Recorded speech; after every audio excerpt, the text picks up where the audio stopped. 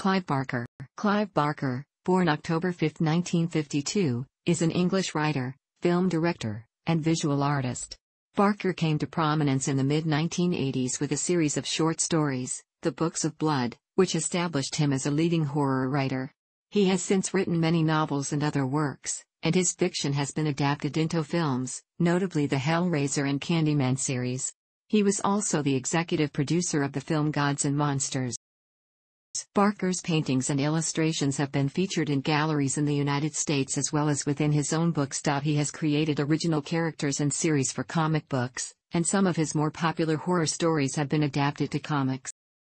Barker was born in Liverpool, Merseyside, the son of Joan Ruby, née Revill, a painter and school welfare officer, and Leonard Barker, a personnel director for an industrial relations firm. He was educated at Dovedale Primary School, Quarry Bank High School and the University of Liverpool, where he studied English and philosophy. When he was three years old, Barker witnessed the French skydiver Leo Valentin plummet to his death during a performance at an air show in Liverpool. Barker would later allude to Valentin in many of his stories. Barker is an author of horror slash fantasy. He began writing horror early in his career, mostly in the form of short stories, collected in Books of Blood 1 to 6, and the Faustian novel The Damnation Game, 1985. Later he moved towards modern-day fantasy and urban fantasy with horror elements in Weaveworld, 1987, The Great and Secret Show, 1989, The World-Spanning Imajica, 1991, and Sacrament, 1996.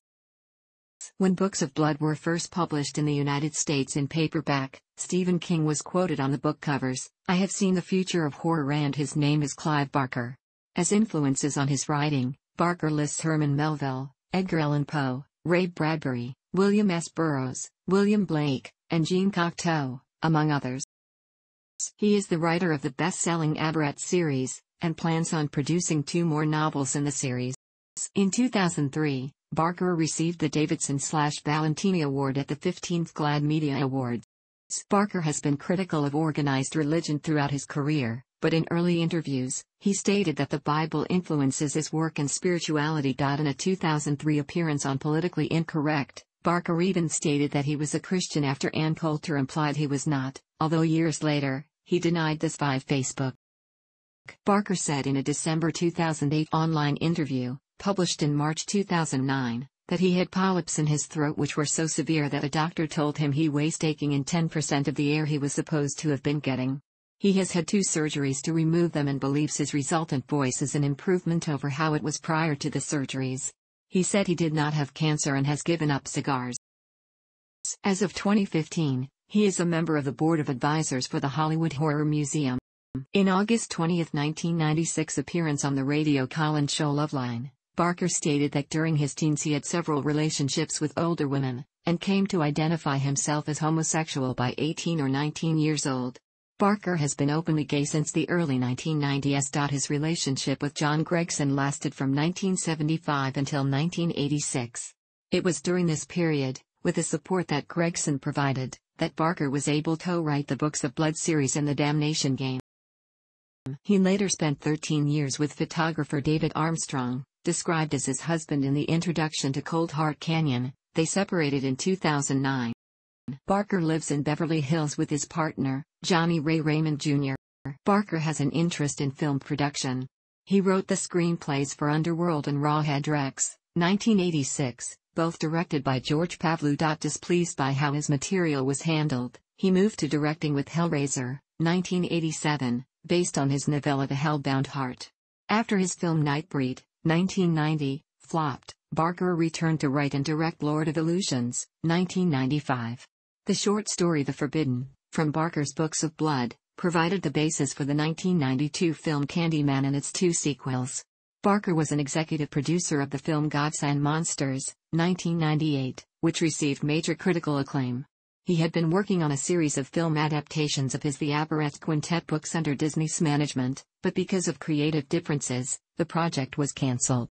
In 2005, Barker and horror film producer Jorge Saralegui created the film production company Midnight Picture Show with the intent of producing two horror films per year.